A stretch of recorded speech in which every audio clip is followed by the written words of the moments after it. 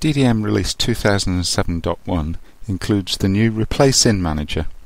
The Replace In Manager allows users to decide, when they up-issue a part, which other assemblies that use the part should now use the new issue.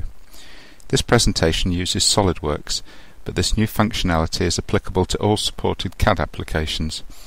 What's more, the Replace In Manager will work from DDM Office, allowing non-CAD users with the correct permissions to make changes associated with part issues. In this example we have two assemblies, a pneumatic actuator assembly C-10014A and a regulator panel assembly C-10016A. Both assemblies share a common component, the valve bracket C-10012A, which we plan to modify and up-issue. We're currently working on the actuator assembly, and so this is on our workbench. The regulator panel assembly is not reserved to any user, so let's remove this from session while we work on the actuator assembly. From within the actuator assembly we're going to add some chamfers to the valve bracket and then up-issue the bracket and the assembly.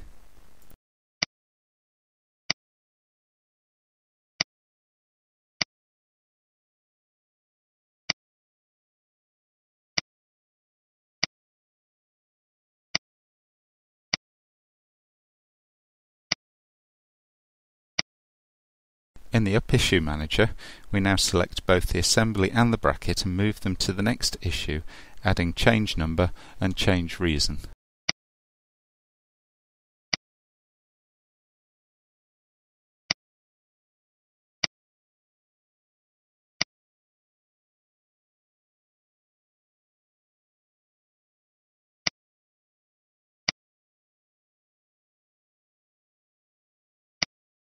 We can see in the Up Issue Manager window that we have a checkbox to launch the Replace In Manager.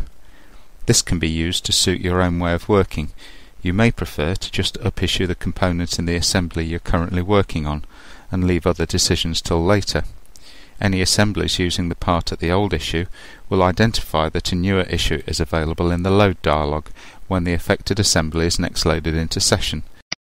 However, we now have the flexibility to review affected assemblies at the point of making the new issue by selecting to use the Replace In Manager, and we'll select that now.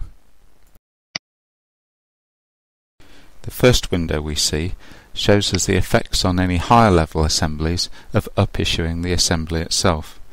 This assembly is not used elsewhere in this case and so there are no results to show in the replacement window. Let's click on OK. In the second window we can see assemblies affected by up-issuing the valve bracket C-10012A. We can see that two assemblies are affected, issue 1 of the actuator assembly itself C-10014A and also the regulator panel assembly C-10016A. The actuator assembly is the old issue and should not use the up-issued part. However, we want to apply the new part to the regulator panel assembly. Before we can make the changes, we must add the assembly to our workbench.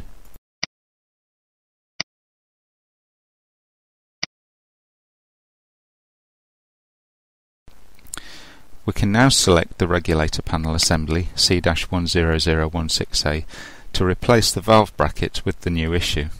We could at this point click Apply, which would implement the change on the selected assemblies and leave us with a list of those that haven't had the replacements implemented. This could be useful if we had a large number of assemblies affected by the change. For now we can click on OK. The save is complete and the new assembly is now in session.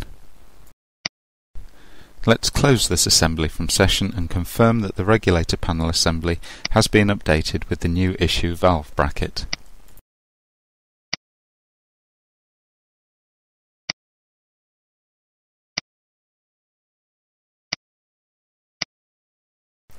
we do get confirmation from the load dialog that issue 2 of the valve bracket is now in use. Let's OK this to confirm by loading the assembly into session.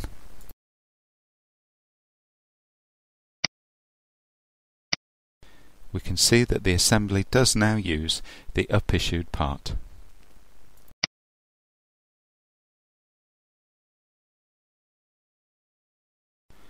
This concludes the presentation on the Replace In Manager.